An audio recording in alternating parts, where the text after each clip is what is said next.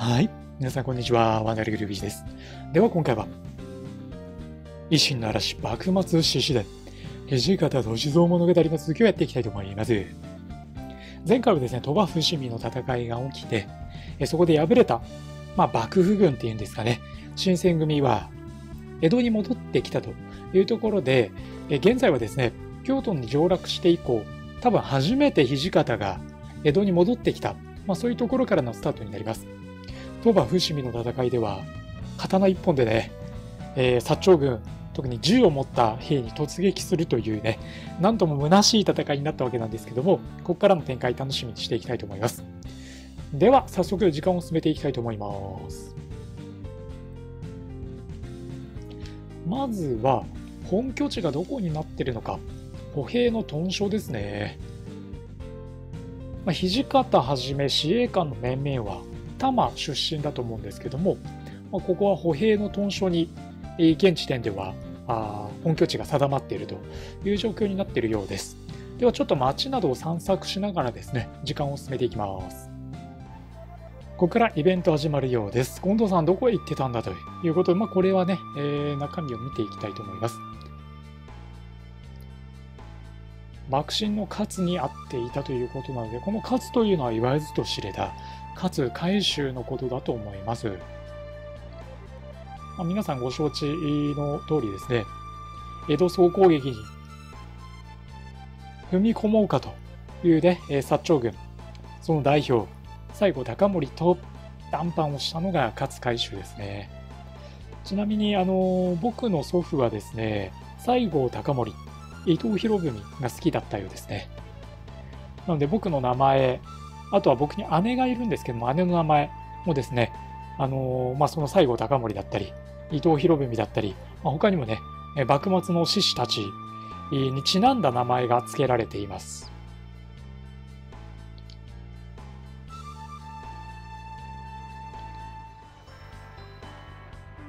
はい、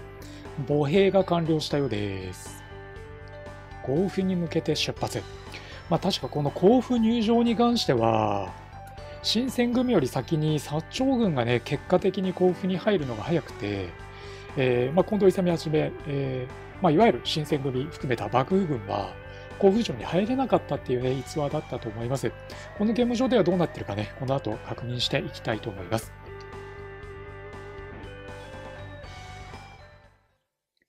それにしてもね、まあ、新選組の面々もそうだし、維新志士の多くもそうだと思うんですけど、まあ、彼ら若いですよね。まあ、僕がですね、実はもう38歳にこの前なってしまったんですけど、多分38歳よりね、若い人たちがね、当時、えー、この国のためにということで立ち上がったんじゃないのかなと思いますね。もう38ともなると、もう膝がね、痛くなったりして、本当にもう体無理効かないな、ガタガタしてきたなっていうね、感じもするんですけど、まあ、最初ね、右膝だけが痛かったんですけど、ここ1、2週間、もう左膝も痛くなってきてですね、本当に年は取りたくないものですね。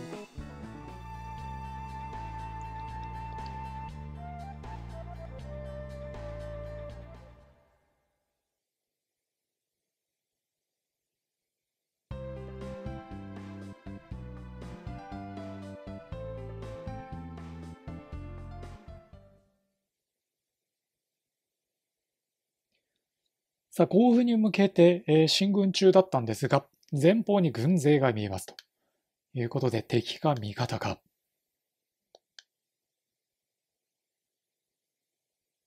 これは敵軍ですね。撃ってきたということは、薩長軍だと思われます。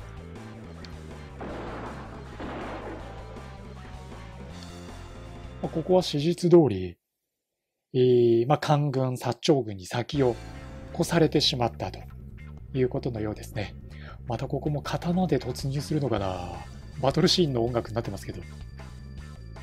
近藤も、まあ、前に出していきましょう。10兵相手に刀で切り込んでいくってなかなかね、まあ、勇気がいるというか、まあ、実際には新選組ももうこの時には少なくても、きちっとしたね、えー、まあ、銃使えるようになっていたんじゃないかなとは思うんですけどね。まあ、土方が死ぬとゲームオーバーになるので、まあ、死なないようにやられないように土方は後ろに下げて進めていければいいかなと思います。まあ、すでに土方ね、えー、剣術の能力は最高レベルに達してますんで、まあ、レベリングをするっていうね、必要性はなくなってます。なので、まあ、変な話、モブキャラを前に出してもいいのかなっていうね、感じもしますよね。近藤さんとかもここで死ぬようなキャラではないと思うので、近藤さんを前に出して、土方はちょっと後ろに置いておくっていうのは一つありかなという気はします。なので土方はちょっと下がりましょう。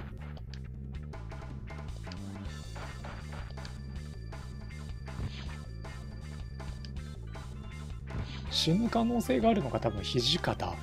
でこれがゲームオーバーになるので、まあ、それ以外モブキャラあとは、えー、新選組の主要メンバーも多分死なないと思うのでこのまま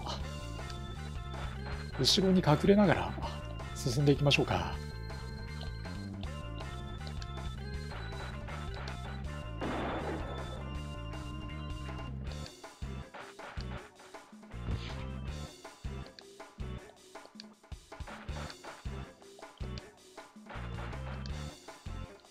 長倉がやっぱり強いですよね。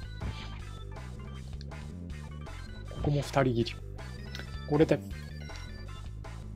経験値。長倉新八が300超えですって。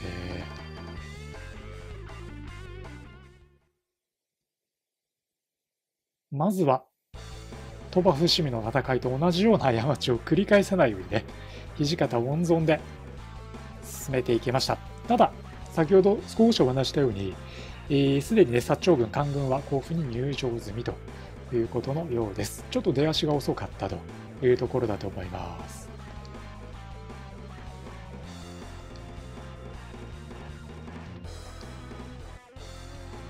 大使がさらに脱走か。まあ、ここまで来るともう脱走を食い止める、まあ、手段というかね、規律というか、まあ、そういうものももう守れなくなってきている、引き締めもできなくなってるってそういう状況なんでしょうね。ということで、江戸に、まあ、ある意味では逃げ戻ってきたというような状態です。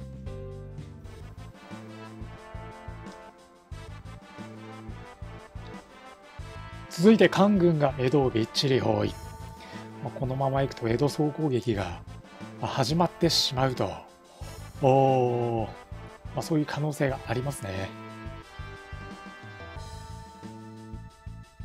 まあ、新選組は間違いなく薩長、特に長州からはね、相当恨まれてると思うので、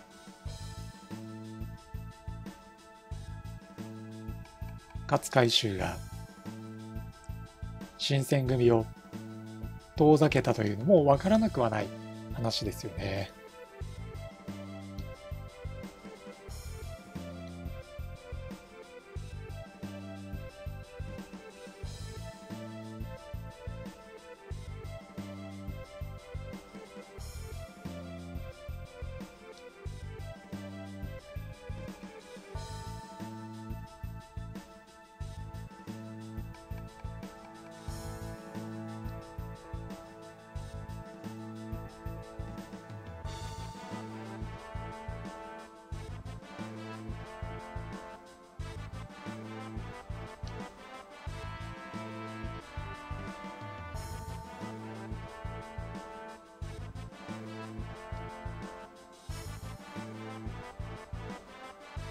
これで斎藤と長倉が離脱しましたね。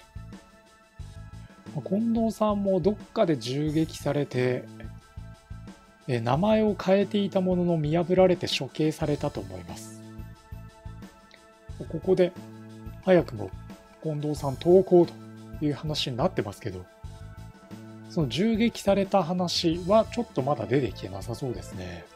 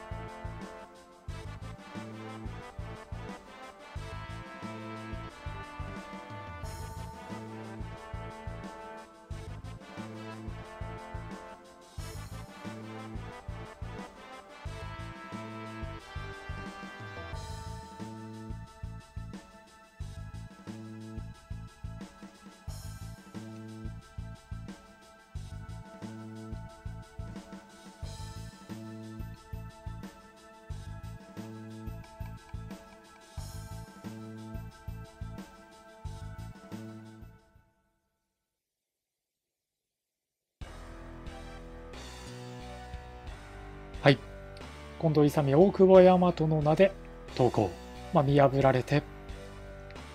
処刑されると、おまあ、そういう場面だと思います。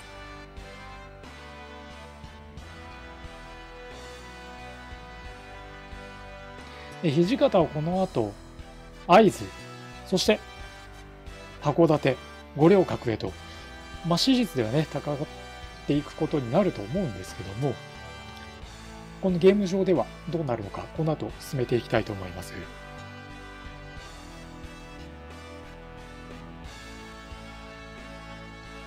で、斎藤は欧州に。で、一緒に欧州、まあ、つまり会津に行くのか、越後に行くのか、江戸に残るのか。いや、これ難しい選択肢だな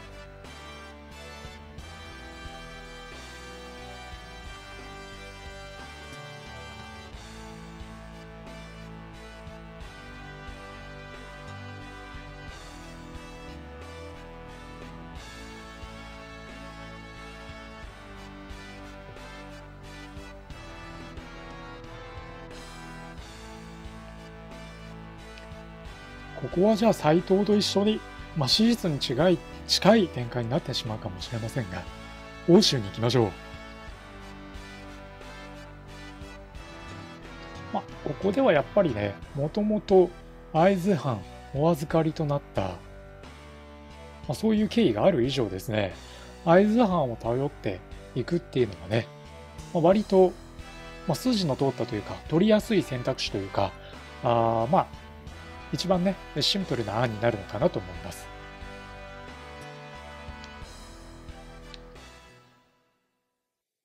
では、合図の方に移動していきましょう。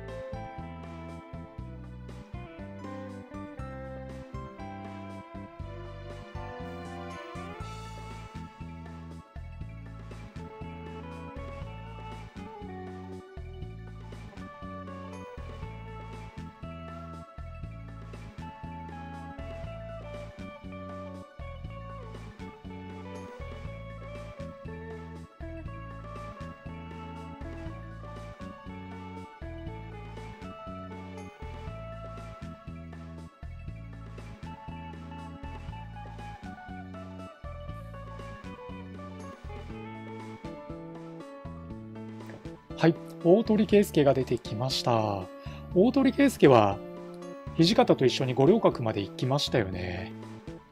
まあ、ただ、どうだったかな、大鳥圭介はその後、あの赦免されて明治政府に入ったような、ちょっとこの辺りはごめんなさい、あんまり、えー、得意ではない、詳しくない分野なんで、記憶曖昧な部分もありますけど、間違ってたらね、えー、動画のコメント欄もしくは Twitter の方で訂正いただければありがたいと思います。まあ、その大鳥圭介が出てきました。大鳥と合流という場面になっています。で、ここをどうするかですね。まあ、無理に攻め入るよりかは通過して合図を目指しましょう。五稜郭まで逃げたところで、まあ、どうこうなるものでもないと思うんですけど、まあ、ここで無理にね、兵力を減らす必要もないでしょうという判断です。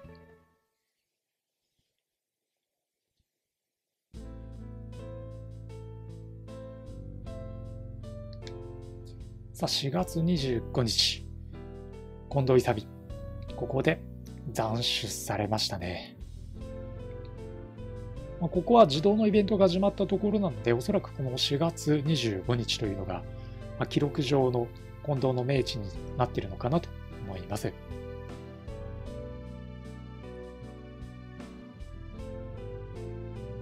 起きた掃除もいつ死んだんでしょうね。多分、そんなにね、長く生きられたわけではないと思うんですけども。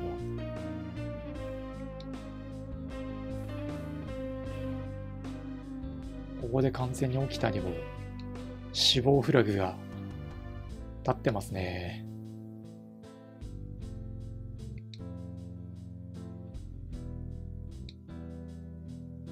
はい。起きたもここで死亡です。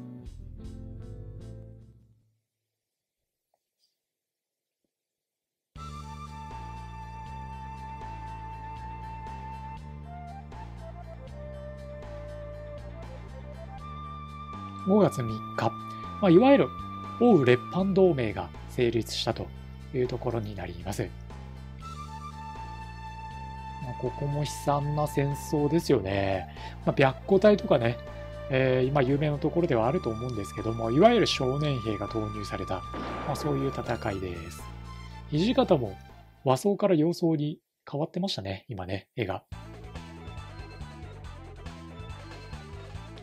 ではまたバトルシーンになりそうですが、まだこのダンダラ模様のこの装備で行くのか、新選組の面々は。土方だけは様相になってるけど、それでもなんだろう、刀なんだな。ちょっとあんまり前に出て、土方が死ぬとまたやり直しになると面倒なので、土方は例によって、ちょっと後ろから行きましょうか。のバトルシーンで土方死亡ゲームオーバーバッドエンディングというのだけは避けたい。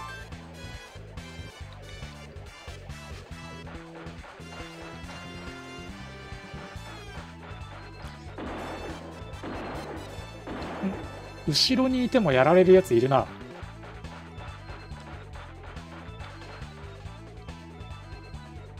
この重兵までたどり着くのが大変だな。まあ後ろにいてもやられるというのは分かりましたけど、それでもやっぱり後ろにいたいので、土方は隠れながら進みましょう。人を盾にする。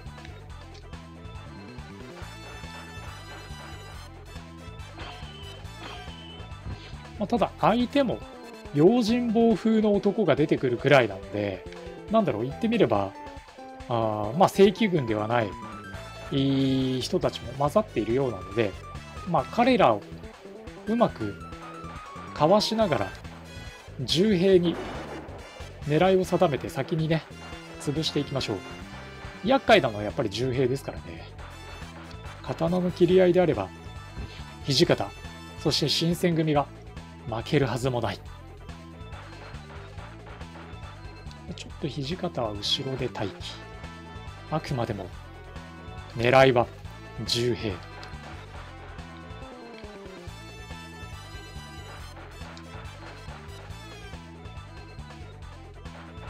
土方以外は死亡しないと思うので、あくまでもね、土方を守る戦いをしていきます。やられた。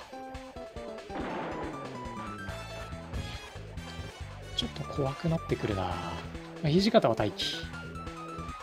他で、鉄砲を撃ってくる連中を切り伏せていきましょう。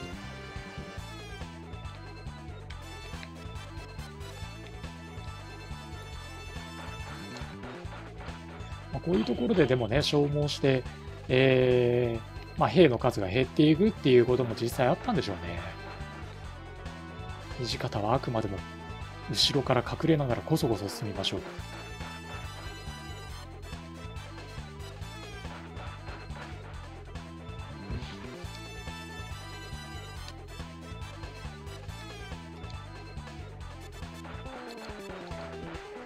これで一応全員倒せたかな。気絶メンバーはいますが死亡者はいませんね。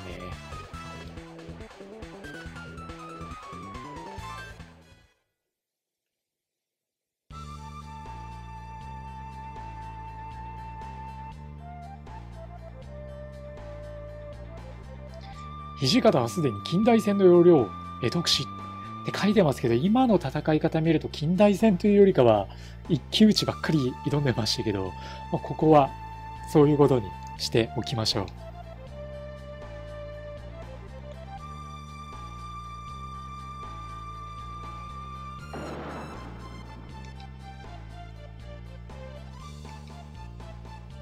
大村益次郎相手に佐之助はここでやられそうですね。佐之助が死亡。佐之助なんかはね、どっちかっていうと、ルロケンのイメージがね、強いですけどね、ルローニ原神のイメージが。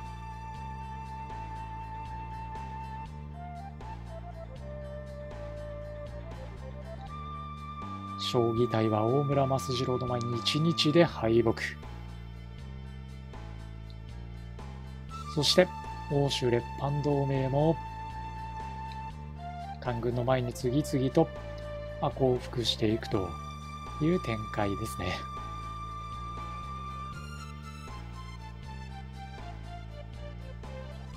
終結の終結はこの感じで合ってるのかな？さて、合図とともに戦うのが他藩に援軍を呼ぶか。まあ、これ他藩に援軍ちょっとダメ元で、ね、援軍お願いしに行きましょうよ。普通に合図だけで戦っても勝ち目はないと思うので、まあ、斉藤さんはここで、えー、合図に残るということなので、たもとを分かつことになりそうですが、土方は仙台に行って、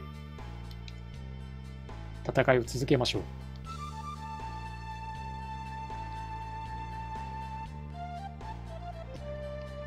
ルロケンの話が出ましたけど、斎藤はね、えー、まあ、明治に時代が移ってからは警官として働いた。まあ、実際、ルローン検診の中でも警官として出てきますけども、史実でも実際、斎藤は警官になったようですね。はい。えー、では今回はですね、キリがいいのでここまでにさせていただいて、次回はですね、仙台の方に移動して、えー、仙台でどう戦うか、あるいは仙台の援軍を率いて会津に戻ってくるのか、まあ、そういう展開になると思うんですけども、続きをね、またプレイしていきたいというふうに思います。